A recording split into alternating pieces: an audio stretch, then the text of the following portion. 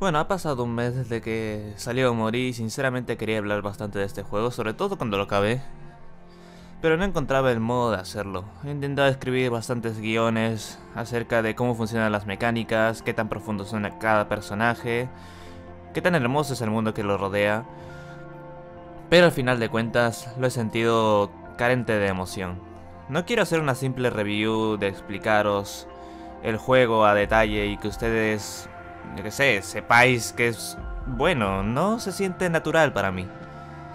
Estaba viendo vídeos de Script para inspirarme un poco, ya que sí, este vídeo está inspirado gracias a él. Es una persona que me ha marcado y que me ha hecho ver los videojuegos como un medio más de arte.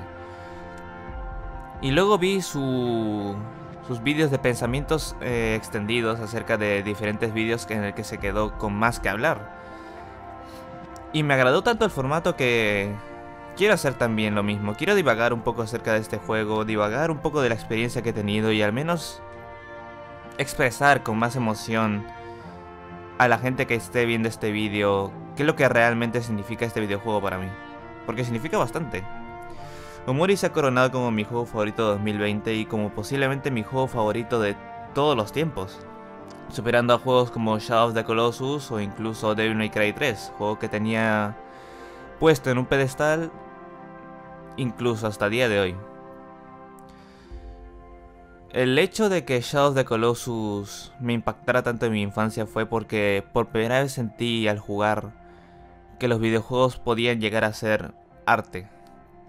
Es un debate que ha estado desde los principios del medio. De si los, videojuegos realmente pueden considerarse arte y ese juego es una prueba de que sí se puede.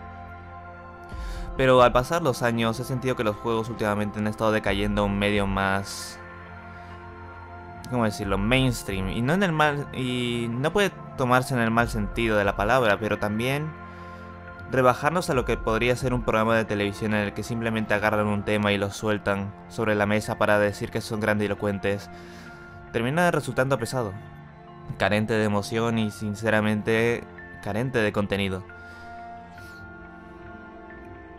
Y por mucho tiempo esa, afirmación que tiene en la mente de los videojuegos podían ser arte se estaba convirtiendo en una duda. ¿Realmente esto era todo lo que teníamos? ¿Realmente todo se define a una compañía lanzando cualquier tema que, nos, eh, que sea relevante del momento? Y decir que es la siguiente obra maestra? ¿De verdad eso es lo que quería yo? Pero bueno, al menos esa duda se ha vuelto a convertir en afirmación, en afirmación gracias a este juego.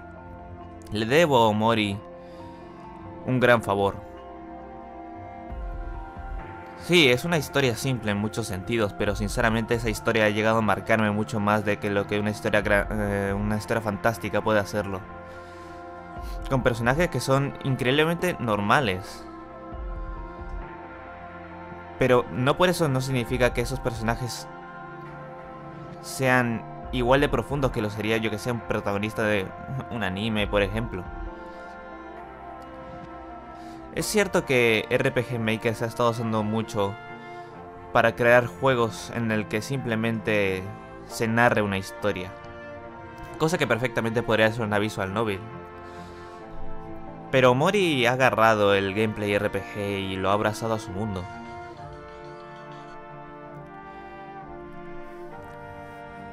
Y realmente me agrada eso porque estamos volviendo a definir lo que significa un RPG por fin. Estamos dejando de lado... Bueno, estábamos dejando de lado una parte importante del medio. Y Omori lo ha retomado en, lo ha retomado de una forma absolutamente genial. El sistema de combate es perfecto a mi parecer. El sistema de emociones, las skills limitadas que puedes llevar hasta se podría comparar si quieres a un Pokémon. Pero un sistema de combate de Pokémon un poco más avanzado, ya que en Pokémon no están las emociones de los enemigos.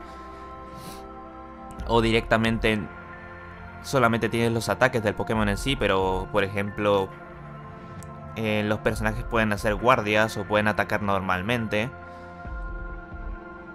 Y además de que amplía mucho más lo que RPG Maker puede hacer en su medio, también lo usa para expresar características, características de sus personajes de forma única. Omori, por ejemplo, quita un 20% más estando triste. Cosa que tiene sentido dado a que Sunny, el, el verdadero eh, Omori, se podría decir de una forma, ha vivido una vida bastante difícil y sinceramente no se siente en la capacidad de estar feliz como están los otros.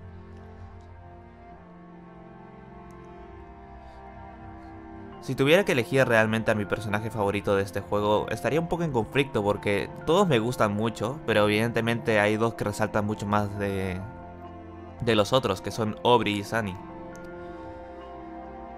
¿Por qué no Basil, por ejemplo? Basil Basil no está en la mayoría del juego y sí, es bastante triste lo que le pasó, pero... Me habría gustado ver mucho más de él, tener más diálogos. Mucha gente dice que el mundo de los sueños es un medio completamente inútil al darse cuenta de que todo es falso. Una vez que estás en el mundo real pierde, pierdes las ganas de estar en ese mundo. Sinceramente yo no lo vi de esa forma. Sunny tiene una imaginación muy grande, pero no la ha hecho de cero. Basa la mayoría de sus ideas en su pasado. Así que cuando veo a Lobri, Kelly, Hiro del mundo de los sueños, veo a esos personajes cuando eran más pequeños. Veo a sus verdaderos yo reflejados en la mente de Sunny, viviendo sus aventuras en las que vivieron en el pasado. Y es por eso mucho que me gusta el mundo de los sueños. Puedo saber mucho más de los personajes y me ayuda a conectar mucho más con ellos. Sobre todo con Aubrey y Sunny, porque cuando vas al, mundo real y ves a Aubrey por primera vez, te cabreas y le dices, ¿por qué estás haciendo esto? Pero una vez que notas el dolor que en realidad lleva en su interior, que ha hecho una máscara de ira solamente para protegerse a ella misma porque no sabía cómo defenderse. Tiene una vida de mierda en, verdad. Vive en una casa... En, un, en una casa deteriorada, llena de basura. Su madre no hace más que ver la televisión. Supongo que también irá a trabajar y su padre se fue o incluso podría haber muerto. Pero aún así ha intentado salir adelante, ha intentado conseguir nuevos amigos, ha intentado adaptarse a la sociedad a su modo. Y es cierto que ese modo no ha sido el más correcto, pero el intento está ahí. El tema principal de Aubrey, el, el que está llamado lo significa todo para mí. Es increíblemente emocional, increíblemente triste. Me... Al principio cuando jugué el juego no le presté mucha atención a ese tema, pero cuando llegas a la sección final y Ori te dice que en un momento de su vida creía que le ibas a dejar y vuelves a escuchar ese tema, viendo las consecuencias de tus propios actos de no estar ahí para ella, duele. De hecho me hizo saltar unas lágrimas cuando volví a escuchar esa canción pensar en lo que mucho, en lo que han sufrido cada uno de estos personajes a lo largo de la muerte de Mary. Ya ni hablar de Sunny, Sunny es la epítome de la depresión, la epítome de una persona que está al borde de la locura.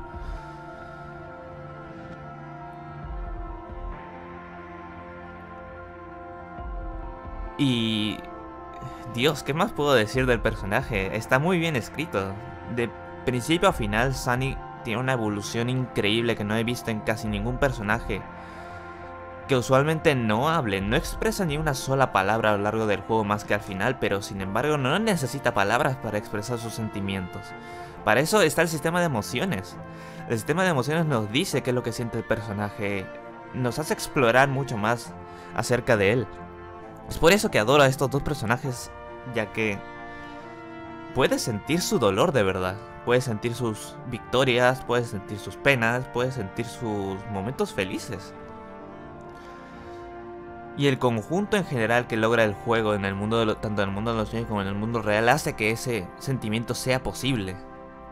Así que para mí el mundo de los sueños es necesario. Es cierto que se puede volver un poco lento al final con la sección de Deep Well y todo lo que quieras, pero sigue siendo necesario para poder tener esa conexión con los personajes. Y ya ni hablemos de la banda sonora, he estado hablando un poco del tema de Aubrey, pero en general toda la banda sonora del juego es increíble, me ha destrozado la mente. Tiene más de 100 temas y cada uno es tan original como el anterior. Obviamente, si tuviera que elegir uno favorito sería el tema final en contra de Omori. Sobre todo cuando empieza a ver la estática, ya que sientes el peso de cada palabra, de cada afirmación que nos hace. Y de que muchas de las preguntas que plantea pueden llegar a ser verdad, nuestros amigos nos perdonarán. ¿Qué va a pasar en el futuro? Pero al final, cada uno tiene que seguir con su camino, ¿verdad? Soy de las personas que cree que el final de Omori es un tanto... Es, o sea, el final es perfecto el cómo lo dejas. Porque da a entender que tú, el cómo te hayas amado a esos personajes, van a tener diferentes reacciones a lo que otras personas creen que van a tener. Por ejemplo, alrededor de la historia, Hiro se nota completamente roto ante la muerte de Mary. Y he visto a millones de personas escribir fanfics de cómo Hiro se tomaría la, verdad cuando Sunny dice todo lo que pasó en realidad en el hospital. Gente cree que directamente Hiro se largaría del hospital y nunca volvería a hablar con él, que lo perdonaría, que le pegaría en ese momento. Y te hace ver que en realidad la gente se toma estos personajes de formas muy distintas y este juego tiene significados distintos para todas las personas no tiene un solo significado que digas este es el correcto y ya está. No, tú te tomas a base de tu experiencia el futuro de este juego. Y sinceramente me parece hermoso, pero yo quería ver más. Es por eso mismo que me he estado refugiando en los fanfics últimamente para moldear un poco la idea de qué ha significado estos personajes para mí, de cómo se tomarían la reacción de la verdad. Pero sinceramente el juego es perfecto en cómo es. Lo he dicho y lo seguiré diciendo seguiré defendiendo de que Omori es el mejor juego de 2020 y el mejor juego de toda la, de toda la vida. Porque ha tomado un medio tan limitado y lo ha llevado a la enésima potencia, ha tomado personajes completamente simples y lo ha hecho inolvidables, ha tomado un mundo y me ha abrazado a él, formando parte de él. A través de un personaje que sí, no habla, pero sigue siendo igual de carismático como los otros, que no pierde esencia. Y ya ni hablemos del contenido del juego. El juego te va a tardar alrededor de unas 20 horas en completarlo si hablas con todos los personajes o sinceramente si haces un par de misiones tanto en el mundo real como en el mundo de los sueños. Y me gusta porque da sustancia. Encuentras personajes que realmente al principio decías, eh, bueno, podría ser un personaje simple, pero termina siendo un personaje que también toma parte de tu corazón. Mikael, por ejemplo.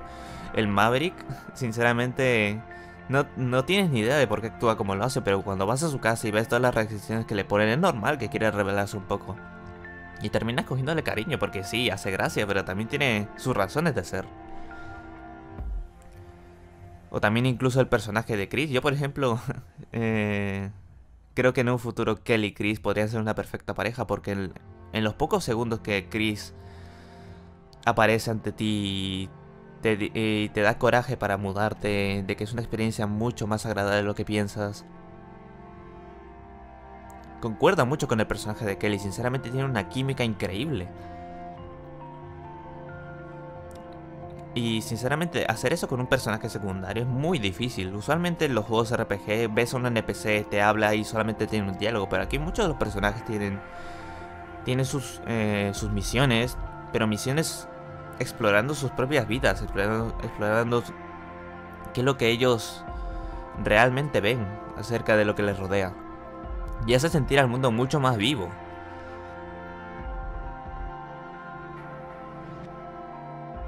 Y la historia, bueno. La historia para mí golpea como un camión, sinceramente. La realización de que en realidad Sunny mató a su hermana, porque si no, vamos a cubrirlo, mató a su hermana, la empujó por las escaleras. Podría haber sido un accidente, pero él tiró del gatillo. Es completamente duro porque no lo hizo intencionalmente y eso es lo que le duele más.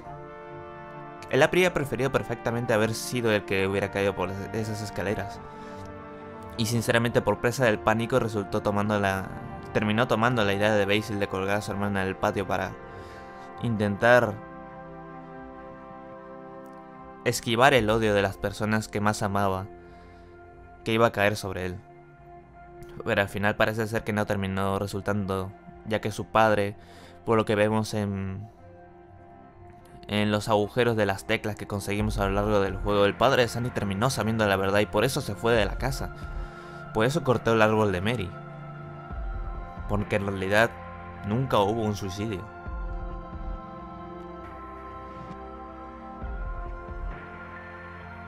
Y la confrontación final que tiene el personaje con su alter ego Mori es increíble porque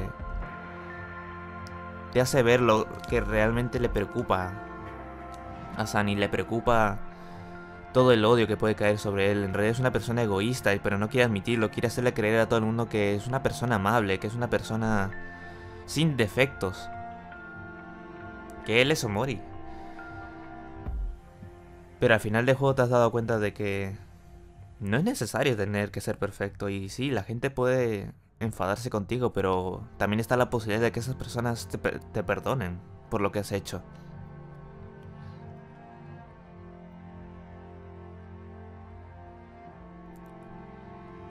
Es un sentimiento completamente normal, se podría decir.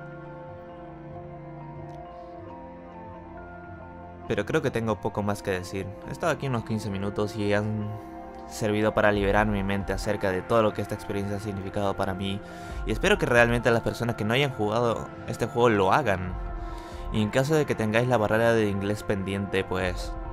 Compañeros, ahora mismo incluso yo hemos traducido el juego para todos ustedes. Hay mil, miles de personas ahora mismo traduciendo el juego para que ustedes forméis parte de este mundo. Así que muchas excusas no tenéis. Tenéis la oportunidad de poder simplemente caminar junto a estos personajes increíbles acerca de, eh, a lo largo de este mundo que ha creado Mokad.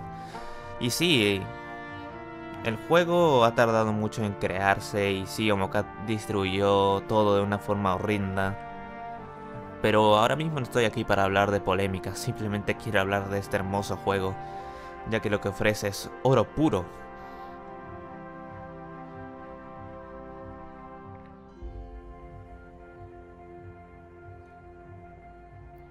Eso es todo lo que tengo que decir. Espero que os haya gustado, de verdad. En caso de que haya personas que ya hayan jugado este juego, espero que me comentéis qué tal ha sido vuestra experiencia, cómo habéis tomado estos personajes, cómo habéis tomado este mundo, cómo habéis tomado al todo en general. Porque comparar opiniones sinceramente es lo que más me gusta. Hay mucha gente en el Discord ahora mismo que expresan lo que este juego realmente ha significado para ellos y me encanta. Pero bueno. Nos vemos en la próxima. Ha sido un placer.